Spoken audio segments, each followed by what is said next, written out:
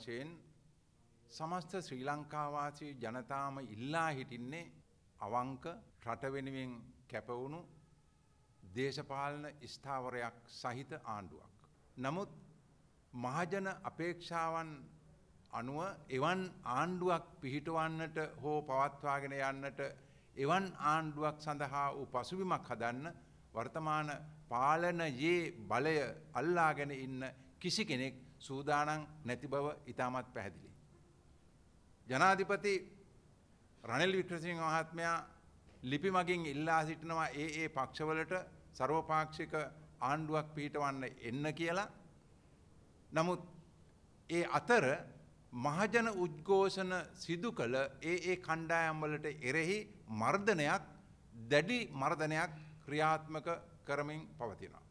එතවට මේ හදන්නේ සර්වපාක්ෂික කියන අදහස අවභාවිතා කරමින් මර්ධනය කරන්නද මහජනතාව ඉදිරිපත් වෙලා කිව්වේ රනිල් වික්‍රමසිංහ ජනාධිපතිකමට ඕනෙයි කියලා නෙවෙයි.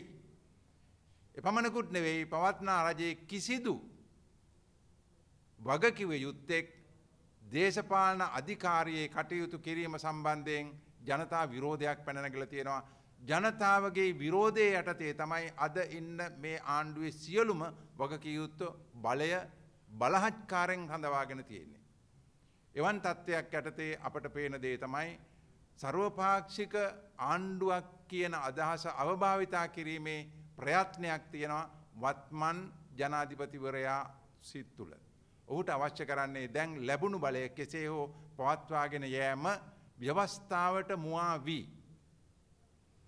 ඒ නිසා අපට පැහැදිලිවම පේන විසඳුමක් පසුගියදා මල්ලතු මහා විහාරයෙන් ඉදිරිපත් වුණා. අපි ඒ විසඳුම අතිශයෙන් අගය කරනවා ඒ තමයි ජනතාවට අවස්ථාව ලබා දෙන්න වඩාත් නිවැරදි සහ අවංක මහජන නියෝජිතයන් පත්කර ගැනීමට ඒ සඳහා මැහමතිවරණයක් පැවැත්වීම අත්‍යවශ්‍යයි කියන අදහස. මේ සඳහා වූ පසුබිම සකස් කර ගැනීම තමයි මහජනතාව අද බලාපොරොත්තු වන දේ එයින් මෙහා රටේ දේශපාලන ස්ථාවරයක් නිර්මාණය වෙන්නේ නෑ දේශපාලන ස්ථාවරයක් නිර්මාණය වන තෙක් ලෝකෙ කිසිම රටකින් පමණක් නෙවෙයි අපේම ලාංකිකයන්ගෙන්වත් ආර්ථික සංවර්ධනයකට උදව්වක් උපකාරයක් අනුග්‍රහයක් ලැබෙන්නේ නැහැ. ලෝකය අපට කියන කතන්දරේ ඉතාමත් වැදගත්. ලෝකය අපට කියන්නේ මොකක්ද. අපි ඉල්ලනවා නය ඉල්ලනවා ආධාරනවා ලෝක සංවිධාන ජාත්‍යන්තර මූල්‍ය සංවිධාන ලෝකයේ රටවල් අපට කියන්න මොකක්ද. ශ්‍රී ලංකාව හොර මුලකට ගොදුරු වෙලා ඉන්න තත්ත්වයක් ඇටතේ අපි ශ්‍රී ලංකාවට උදව් කරන්නේ නැහැ කියලා. රනිල් වික්‍රමසිංහ මහත්මයාගේ ප්‍රධානත්වයෙන්ගේ හොරමුල මේ වන විට ඉතාමත් බලවත් ලෙස ක්‍රියාත්මක වෙනවා ව්‍යවස්ථාවට මුවා වෙලා. ඒ නිසා මේ වැඩ පිළිවෙල මේ චෞර සමාගම ක්‍රියාත්මක වනතා කල් ලෝකයෙන් අපට උදව් ලැබෙන්නේ නෑ තෙල් පෝලිම අවසං වෙන්නේ නැහැ. එනිසා වහාම මහජනතාවට අවස්ථාව ලබාදිය යුතුයි වඩාත් අවංක ජනනායකයෙන් තෝරාගෙන මහජනතාව තීරණය කරන පරිදි මහජන නියෝජිතයන් තෝරාගෙන සුදුසු ආණ්ඩුවක් පත්කර ගැනීමේ අවස්ථාවට අපි යොමු විය යුතුයි කියන බව තමයි අද මේ රටේ ජනතාවගේ මතය වෙන්නේ. මර්ධනය සම්පූර්ණයෙන්ම විරුද්ධයි මේ සාමකාමී පරිසරයට හෝ ජාත්‍යන්තර කීර්තියට ජාත්‍යන්තරය බලාපොරොත්තු වන සාමකාමී පරිසරයට බරපතල හානියක් අද වත්මන් රජයේ ක්‍රියාත්මක කරන භීෂණය මේ මර්ධනකාරී වැඩපිළිවෙල. ඒ මර්ධනකාරී වැඩපිළිවෙල මහජන උද්ඝෝෂණය සඳහා ඉදිරිපත් වන නියෝජිතයන්ට ක්‍රියාත්මක වෙනවනම් එමනම් අපි අහනවා සාමකාමී මහජන උද්ඝෝෂණයට පහර දීපු දාමරිකයන්ටත් ඒ නීතිය ක්‍රියාත්මක වෙනවද? ඒකම පසුගියදා සිදුවුණු රාජ්‍ය මෙහෙවීම යටතේ සිදුවුණු මිනිමැරුම් වලට අදාළ විත්තිකරුවන් අත්අඩංගුවට ගන්න පමණක් නෙවෙයි පාර්ලිමේන්තුවේ අද පොහොට්ටුවේ නායකයන් ඇතුළු සියලුම දෙනා ප්‍රසිද්ධියේ ප්‍රකාශ කළ මේ රට මංකොල්ල කාපු හොරුන්ට විරුද්ධව නීතිය ක්‍රියාත්මක වෙනවද? අපි අහනවා මේ මහජන අරගලවලට සම්බන්ධ වුණු සංවිධානවල නියෝජිතයන්ට සහ සාමාන්‍ය පුරවැසියන්ට එරෙහිව ක්‍රියාත්මක වන මර්ධන නීතිය රටක් විනාශ කළ රටක් මංකොල්ල කෑප් හොරුන්ට එරෙහිව ක්‍රියාත්මක නොවන්නේ ඇයි. අපි අහනවා රනිල් වික්‍රමසිංහ මහත්මයාගේ සාධාරණකම ප්‍රජාතන්ත්‍රවාදය රටක් විනාශ කළ තමා ඇතුළු හොර කණ්ඩායම් වලට එරෙහිව ක්‍රියාත්මක නොකරන්නේ ඇයි කියන ප්‍රශ්නය අපි අහනවා. වැදගත් කාරණාවක් අපට මේ වෙලාවේ පැහැදිලි කළ යුතුව තියෙනවා විශේෂයෙන්ම රනිල් වික්‍රමසිංහ ජනාධිපතිතුමා මෙන්න නිල ජනාධිපතිවරයෙක් වශයෙන් පෙනී සිටිමින් දළදා මාලිගාවට යනවා දළදා වහන්සේ වඳින්න. එතුමා මහ පින්කමක් කරගත්ත කියලා රටට පෙන්නනවා. නමුත් රට නොදන්නා ඊටත් වඩා විශාල පින්කමක් ඔහු සිදු කරලා තියෙනවා. ඒ තමයි ප්‍රමාණයක් නැති තැබෑරුම් සංඛ්‍යාවකට ඔහු අවසර දීලා තියෙනවා මුදල් අමාත්‍යවරයා වශයෙන්. සුරාබදු දෙපාර්තමේන්තුව හරහා මෙන්න ඉල්ලුම් පත්තර කැඳවල තියෙනවා අලුතෙන් සුරා සැල් පටන් ගන්න ආරම්භ කරන්න. ඒ ලිපිය නිකුත් කරලා තියෙනවා ඊයේ දවස තුල ඒ ලිපියේ නිකුත් කරලා තියෙනවා ඊටමත් වැදගත් සාධකයක්. ඒ තමයි සංචාරක ව්‍යාපාරය ප්‍රවර්ධනය කිරීම සඳහා අලුතින් සුරාසැල් ආරම්භ කිරීමට බලාපොරොත්තු වෙනවා ඒ සඳහා ඉල්ලුම් කරන්න කියලා. සංචාරක ව්‍යාපාරය ප්‍රවර්ධනය කරන්න තියෙන එකම හේතුව බොන්න පහසුකම් නැතිකම කියලාද රනිල් වික්‍රමසිංහ උපාසක මහත්තයා හිතාගෙන ඉන්නේ. මේ රට ගැන ලෝකය අද අවබෝධ කරගන්න තියෙන ආකාරයෙන් කිසිදු සංචාරකයෙක් රටට එන්නේ නැහැ. ඒකට හේතුව තමයි පෞද්ගලිකව අපිත් එක කතා කරලා තියෙනවා ලෝකේ විවිධ රටවල අය අපි එන්න ආසාවෙන් ඉන්නවා නමුත් ගමනාගමන පහසුකමක් නැහැ රටේ. රටේ ගමනාගමන පහසුකම නැතුව සංචාරක ව්‍යාපාරයක් කොහොමද සංවර්ධනය වෙන්නේ? කොහොමද සංචාරකයෝ ඇවිල්ලා රටේ තොරතුරු බලාගන්නේ? ලෝකෙ මිනිස්සු ලංකාවට එන්නේ අරක්කු බොන්න නෙමෙයි. කරුණාකල්ලා රනිල් වික්‍රමසිංහ මහත්මයා මේ දරුණු මිත්‍යා විශ්වාසයෙන් ඉවත් වෙන්න. ලෝකෙ මිනිස්සු ලංකාවට එන්නේ අරක්කු බොන්න නෙවෙයි ගණිකා වෘත්තිය සේවාවන් ලබා ගන්න නෙවෙයි කුඩු බොන්න නෙමෙයි.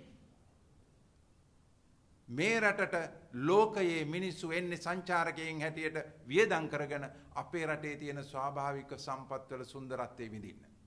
අපේ සංස්කෘතිය අත්විඳින්න. ඒ පිළිබඳව ඉතාමත් මැනවින් තොරතුරු දන්නා පිරිසක් තමයි භික්ෂූන් වහන්සේලා හැටියට අපි ලෝකයේ විවිධ සංවිධානත් එක්ක රටවල් එක්ක කටයුතු කරන අපි දන්නවා මොකටද ලෝකෙ මිනිස්සු ලංකාවට එන්නේ කියලා. ඒ නිසා සංචාරක ව්‍යාපාරය සංවර්ධනය කරන මුවාවෙන් තවදුරටත් සුරාසැල් අරින්න මේ බලපත්තර දෙන්නේ තමන්ට දේශපාලන වශයෙන් බැලමෙහිවරකං කරන සේවකයන්ට තවදුරටත් අයතා ආදායම් වර්ධනය කරගන්න මිස වෙන කිසිවක් සඳහා නෙවෙයි. ඒ නිසා අපි පැහැදිලිවම කියනවා දළදා වහන්සේ වඳින්න ගිහිල්ලා රට රවට්ටන්න එපා. වෙනත් ආයතන වලට ගිහිල්ලා දළදා කරඬුව වැඳලා එහෙම නැත්නම් තවත් ස්ථාන වලට ගිහිල්ලා කරඬුව හිස මත තබාගෙන ආශිර්වාද ලබා ගැනීම මුලාවක් සහ මුසාවක්. ක්‍රියාවෙන් ඔප්පු කරන්න ඔබ සමස්ත සමාජයේ විනාශ කරන සුරාවට මේ දෙන අනුග්‍රහය වහම නවත්තන්න. සංචාරක ව්‍යාපාරයේ මුවාවෙන් තවත් සුරාසැල් ආරම්භ කිරීමට මුදල් ඇමතිවරයා හැටියට රනිල් වික්‍රමසිංහ මහත්මයා අරගෙන තියෙන පියවර අපි දැඩි ලෙස හෙලා දකිනවා බෞද්ධ විරෝධී සදාචාර විරෝධී ක්‍රියාවක් හැටියට අපි දැඩි පිළිකුලෙන් හෙලා දකිනවා. හාමුදුරේ ස්වරපාක්ෂික රජයක් සඳහා ජනාධිපතිතුමා ලිපියවල තියෙන අනිකුත් මන්ත්‍රීවරුන්ට ඒ සම්බන්ධයෙන් ඔබ වහන්සේ දැක්කේ. සර්වපාක්ෂික ආණ්ඩුවක් සඳහා යවන ලිපිය සක්‍රීය කරගන්න නම් එතුමා පෙන්වන්න ඕන තමා ਸਰවපාක්ෂික කෙනෙක් කියලා. එතුමා ජනාධිපති බවට පත් වෙලා අගමැති පත් කරගත්තේ ਸਰවපාක්ෂිකවද? නැහනේ. පෞද්ගලිකවමත් අපි ප්‍රශ්න කළා ඒ සම්බන්ධයෙන්. අගමැතිතුමා ਸਰවපාක්ෂික අදහසක් යටිහිතේ තුන්හිතක හරි කොහේ හරි තියෙනවා නම් අගමැතිවරයා පත් කරන්න ඕන වෙනත් පක්ෂකින්. විරුද්ධ පක්ෂවලින්. එපමණකුත් නෙවෙයි. දැන් ඉන්න ඇමතිවරු ඒ ආකාරයෙන්ම කටයුතු කරන්න බලය දීලා තියෙනවා. ਸਰවපාක්ෂික නැහැනේ. අනික් කාරණාව තමයි 20 වෙනි ව්‍යවස්ථාව හරහා ජනාධිපතිවරයා සතු කරගෙන තිබෙන අසීමිත බලය ඉදිරියේ සාමාන්‍යයෙන් අනිත් පක්ෂවල වගකිය යුතු ඇවිල්ලා නිලතල බාර ගන්න සූදානම් නැහැ. කුමක් හේින්ද කඩුව ගහලයා අතේ ලෙලදෙමින් තිබෙන තාක්කල් ඒ ඉදිරියෙන් යන්න කිසි කෙනෙක් ඉදිරිපත් නොවන්නාසේ අසීමිත බලයක් සහිත මේ ඒකාධිපති බලතල සහිත අපිට පෙනුණා පැහැදිලිවම ගෝඨාභය රාජපක්ෂ මහත්මයා 20 වෙනි විවස්ථා සංශෝධනය සකස් කරගෙන හරිගස්සගත්ත මහා බලය පාවිච්චි කරලා තියෙන රට සංවර්ධනය කරන්න නෙවෙයිනේ. 20 වෙනි විවස්ථා සංශෝධනයෙන් තමා වෙත පවරාගත්ත අසීමිත බලතල පාවිච්චි කරලා තියෙන්නේ රට සංවර්ධනය කරන්න නම් අද එතුමා පැනලා යන්න ඕනේ මහා බලයක් සකස් කරගත්ත ජනාධිපතිවරයා හොරා පැනලා යන තත්වයකට දේශද්‍රෝහියෙක් හැටියට හංවඩු ගසනු ලැබුවා 20 වෙනි විවස්ථා සංශෝධනය මගින් පවරාගත්ත බලය අයතාලිස පාවිච්චි කළ නිසා. විසිවෙනි ව්‍යවස්ථා සංශෝධනය මගින් තමා වෙත පවරාගෙන තිබුණු අයථා බලය අයථා ලෙස පාවිච්චි කළා අද ඔහු දේශද්‍රෝහියෙක් හැටියට රටින් පලා යන තත්වයකට පත් වුණා. මෙබඳු බලතල සහිතවමයි තවමත් රනිල් වික්‍රමසිංහ මැතිතුමාත් බැඳෙමින්නේ. එවන් පරිසරයක් යටතේ සර්වපාක්ෂික ආණ්ඩුවක් කියන්නේ සිහිනයක් විතරයි. ඇත්ත වශයෙන්ම රට බලාපොරොත්තු වෙන එවන් දෙයක් සිදු වෙයි කියලා. නමුත් ප්‍රායෝගිකව ජනාධිපතිවරයා ඔප්පු කළා නැහැ. තමා ਸਰවපාක්ෂික ආණ්ඩුවකට අවංක කැපවීමෙන් ක්‍රියා කරන බවක් ඔහු පෙන්නලා නැහැ. මේ ලියුම නිකම් මුලාවක් විතරයි රට රවට්ටන මුලාවක් විතරයි මොවුන් තමන්ගේ බලය තවදුරටත් පවත්වාගෙන යන්න කාලය මරන්න පාවිච්චි කරන උපාය උපක්‍රමයක් විතරයි ඔහුගේ උත්සාහය අපි ඒක ප්‍රසිද්ධියම හෙලා දකිනවා මේ අනවශ්‍ය බොරු මුලා කිරීම කරන්න එපා. අවංක උත්සාහයක් ඔබට තියෙනවා නම් වහාම පරිසරය සකස් කරන්න ජනතාවට අවශ්‍ය පරිදි ජනතා නියෝජිතයන් තෝරගන්න මහමැතිවරණයක් සඳහා වූ පරිසරය වහාම සකස් කළ යුතුයි. ඔබ වහන්සේ කෙසේ දකින්නේ වත්මන් ජනාධිපතිවරයා සහ හිටපු ජනාධිපති අතර? ඔව්. හිටපු ජනාධිපතිවරයා මහා බලයක් ඇතිව කටයුතු කළා කවුරුත් හිතුවා රට බොහොම වේගයෙන් සංවර්ධනය කළයි කියලා. නමුත් ඒක වුණේ නැහැ හොරුන්ට වංචනිකයන්ට රට මංකොල්ල කන්න අවස්ථාව සකස් කර දීපු එක තමයි එතුමාගේ බලතල සහිත ව්‍යවස්ථානුකූලවම රට මංකොල්ල කෑමට මග සැකස් සැකසීම තමයි කෙරලා තියෙන්නේ හිටපු ජනාධිපතිවරයා යටතේ. ඒකෙම දිගුව අපට පේනවා. රනිල් වික්‍රමසිංහ මහත්මයා කියන්නේ හිටපු ජනාධිපතිතුමාගේ දිගුව හෙවත් පුනර්ජන්මය මිස වෙන කිසිවක් නෙවෙයි. ඒ බව ඉතාමත් පැහැදිලි ඒ පිළිබඳව රටේ ජනතාව මැනවින් තේරුම් අරගෙන තියෙනවා. දැන් අපි හඳුරන්නේ මේ රජය නියෝජනය කරන පාර්ශවය කියන්නේ නම් මේ එනේන ජනාධිපතිවරයා එළවලා එනේන පාලකයා එළවලා මේ රට කරගෙන යන්න බෑ කියලා. ඒක ඇත්ත. හොරෙක්, වංචනිකයෙක්, දාමරිකයෙක් මැරෙක් රටේ නායකත්වයට පත් වෙනවා නම් ඒක ඉවසන ජනතාවක් ඉන්න රටක සදාචාරයක් තියෙයිද? ශිෂ්ටාචාරයක් තියෙයිද? නැහැ. රටේ ජනතාව සබුද්ධිකව හිතන තාක්කල් රටේ ජනතාව ප්‍රබුද්ධව හිතන තාක්කල් හොරුන්ට මැරවරයින්ට රටේ නායකත්වය හිමි නොකළ යුතුයි. ඒ වගකීම පුරවැසියා සතු වගකීම මැනවින් ඉටු වෙච්ච බව ඉතාමත් පැහැදිලි. ඒකට කියනවා මහජනතාවගේ පරමාධිපත්‍යය. මං හිතනවා ලංකා ඉතිහාසයේ මහජන පරමාධිපත්‍යයේ ක්‍රියාත්මක වුණු ඉතාමත් වැදගත් ඓතිහාසික කාල පරිච්ඡේදයක් මේ පරිච්ඡේදය. මහජන පරමාධිපත්‍යයේ මැනවින් ප්‍රදර්ශනය වෙලා තියෙනවා. ඒ ප්‍රදර්ශනය වුණු පරමාධිපත්‍යයට හිස නමලා තියෙනවා හිටපු පාලකයෝ ඔවුන් පැදුරටත් නොකියා පලායන තත්ත්වයකට පත් වුණේ මහජන පරමාධිපත්‍ය මත මහජන පරමාධිපත්‍ය ඉදිරියේ මහජනතාවගේ පරමාධිපත්‍ය පිළිඅරගෙන තියෙනවා. ඒ නිසා තමයි ඔවුන්ට හොරා පැනලා යන්න සිද්ධ වුණේ. මේ தত্ত্বය රටක පැවැත්මට අත්‍යවශ්‍යයි. අපි ඊටමත් පැහැදිලිව තියෙනවා මහජනයා පාරට බැස්සේ නිකන් නෙවෙයිනේ මහජනතාව පාරට බැස්සේ Tamanට අවශ්‍ය කරන මූලික පහසුකම් ටික නැති වෙනකොට රජයක් මගින් ලැබිය යුතු ආරක්ෂාව නැති වෙනකොට ආර්ථික පසුබිම විනාශ වෙනකොට තමන්ගේ ජන ජීවිතයේ කඩාගෙන වැටෙනකොට රජයක් අසාර්ථක වෙනකොට සහ රජයක් සම්පූර්ණයෙන්ම අකර්මණ්‍ය වන විට ඊට විරුද්ධ වනේ ජනතාව පාරට බැස්සේ.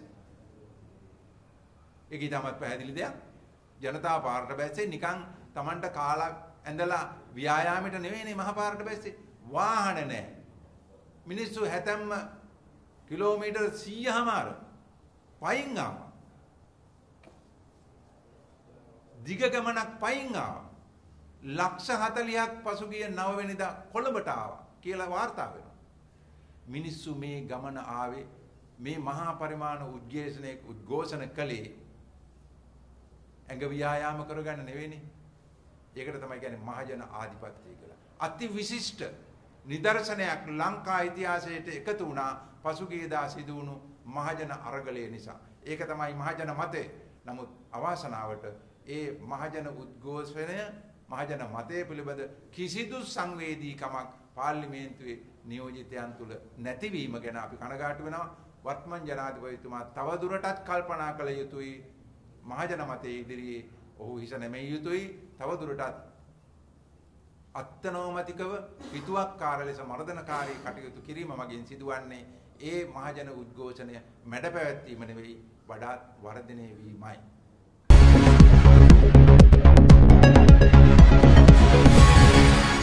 උණුසුම් පුවත් දෙසැනින් දැනගන්න ලක්දරන අපිව සබස්ක්‍රයිබ් කරන්න. වීඩියෝවට ලයික් කරන්න, කමෙන්ට් කරන්න, ෂෙයා කරන්නත් අමතක කරන්න එපා.